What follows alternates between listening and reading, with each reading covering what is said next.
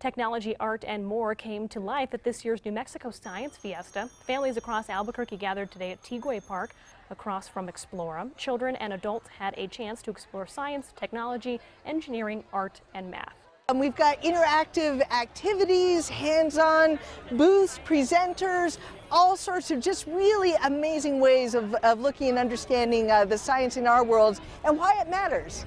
Dozens of scientists, artists, engineers, and other professionals offered hands-on activities for the kiddos.